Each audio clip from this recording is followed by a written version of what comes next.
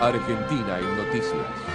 El acceso a Internet domiciliario creció 39% en septiembre interanual. Un informe del INDEC asegura que en ese periodo se registraron más de 10.300.000 accesos residenciales. Dentro de esta categoría se destacaron las conexiones de banda ancha, que representaron una suba del 41%, con casi 3 millones de nuevos accesos.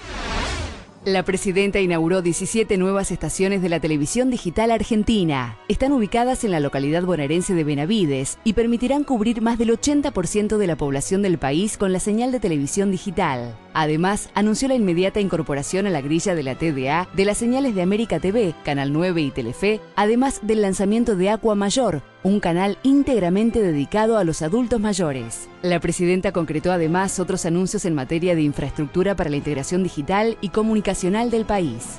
Este salto cualitativo de construcción de fibra óptica por todo el país, atravesando inclusive el estrecho de Magallanes y esto que estamos inaugurando hoy, el centro de datos Datar Argentina más importante de Latinoamérica con una inversión de 200 millones de pesos y que ahora cuando termine este acto voy a recorrer y cuyas antenas ustedes están viendo en estos momentos en imágenes.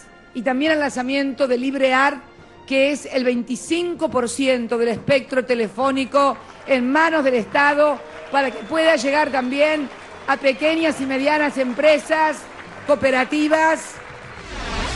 Agrale invertirá 12 millones y medio de dólares para producir tractores y buses. La empresa fabricante de tractores anunció que realizará la inversión en su planta de la ciudad bonaerense de Mercedes para producir tractores con un 70% de integración nacional y ómnibus con chasis articulados. La inversión anunciada complementa los 50 millones de dólares desde fines de 2007 y en esta nueva etapa contempla la construcción de una segunda línea de montaje en su planta industrial.